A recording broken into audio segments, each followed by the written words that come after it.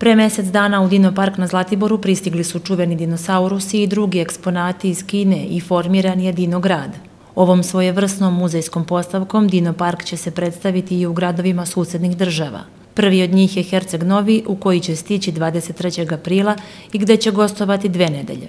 Ono što je posebno interesantno jeste da svaki grad očekuje nešto drugačije novo. Herceg Novi je prvi grad, krećemo sa Primorja. Ono što bih htela da naglasim jeste da će biti 12 eksponata dinosaurusa, takođe biće i mnogo atrakcija da će, da će posetioci gosti Herceg Novo kao i meštani moći da se slikaju i ono što je jako bitno jeste da kolege će raditi radionice u jutarnjim i večernim satima sa najmlađima. Šta to zapravo znači? Ova postavka nije samo postavka dinosaurusa gde će e, naši, gde će gosti Herceg Novog moći da se informišu ko su dinosaurusa, već naprotiv radi se i zabavno edukativne radionice. Birat ćemo izbor za misicu i mistera Herceg Novog, tako takođe najoriginalniju masku, a tema je planina i more.